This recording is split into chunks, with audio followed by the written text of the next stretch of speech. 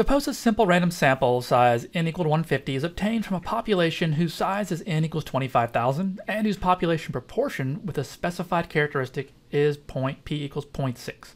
Complete parts A through C below. Okay, we're going to describe the sampling distribution of p hat. So we're hoping it's normal, or else we really can't um, go any further. So it's either going to be approximately normal or not normal for a couple reasons, right? The sample size that we take has to be less than 5% of the whole population. So we can certainly see that 150 is less than 5% of 25,000. So that one is satisfied. And also this next one here, the n times p times 1 minus p has to be larger than 10.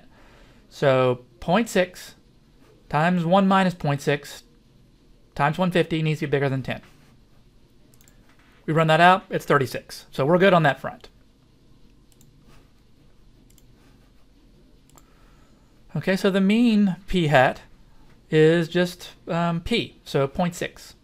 So the mean of the sample distribution is 0.6. The standard uh, deviation of the sample distribution, recall the formula that we have. So we take the square root of p times q over n, and that gives us the standard deviation.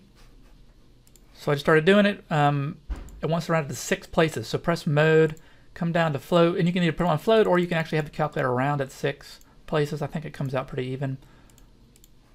I did it at four places, and I just want to make sure there's no rounding. Nope, so 0.04.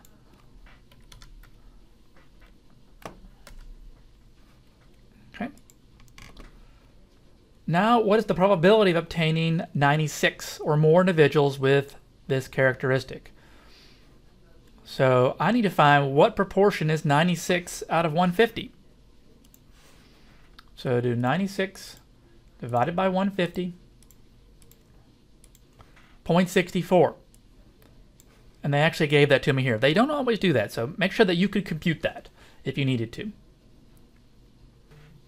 So here is our image, and we see we're always draw and shade these out. So the mean of 0.6, and right below it I always put the standard deviation, 0.04, and then put 0.64 where it needs to be, somewhere to the right of 0.6, and then shade the region we're trying to find.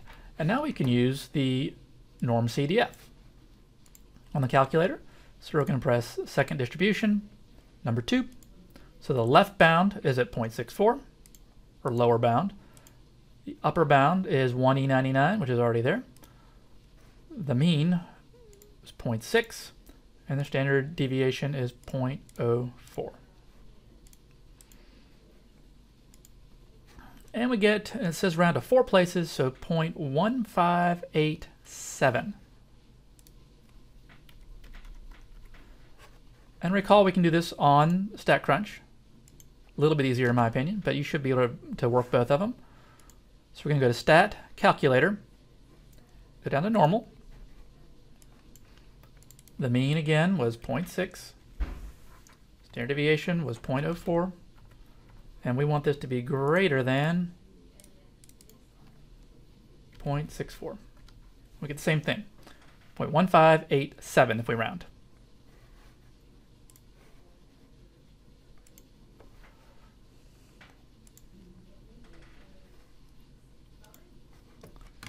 So what's the probability of obtaining x equals 78 or fewer? So they've already had gone ahead and found the proportion, what 78 over 150 is, but you ought to be able to do that. They usually don't give you that. So again, sketch this out. I'm assuming you can do that. On the calculator, go back to your norm CDF number two. This time lower bound is negative 1 E99 because we're going to negative infinity.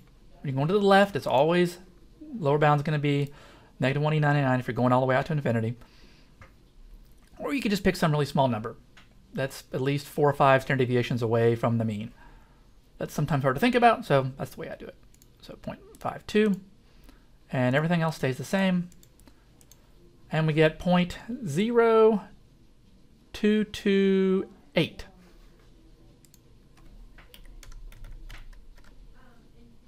Okay, so I hope that helps.